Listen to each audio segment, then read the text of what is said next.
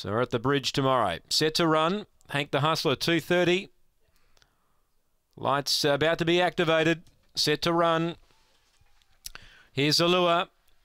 They're set. Racing, Hank the Hustler began okay. There's good speed, Yarrendale. I'm top girl. Driving hard, call me Billy. Hank the Hustler's out deep about fifth.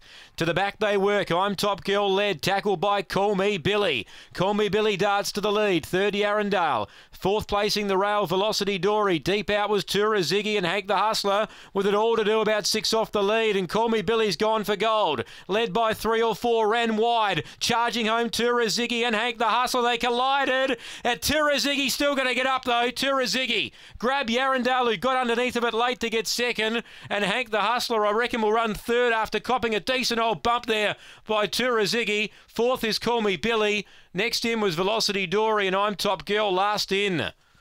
Tura Ziggy will get up and came off a bit better than what uh, Hank the Hustler did when they bumped at about the 30 metre mark. Tura Ziggy. He's back in town tonight. He'd been runner up his last four. Leader ram incredibly wide. Call me Billy on that home bend. And in the end, uh, he's uh, done